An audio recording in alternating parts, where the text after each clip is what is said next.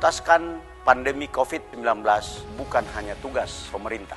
Peran rakyat melakukan Protokol kesehatan juga diperlukan. Warga dan pemerintah harus solid, gotong royong melawan corona. Ayo sedulur, ojo lali gawe masker. Maskerku selamatkanmu. Maskermu selamatkanku. Jatim bermasker, selamatkan kita semua. Wajib boleh.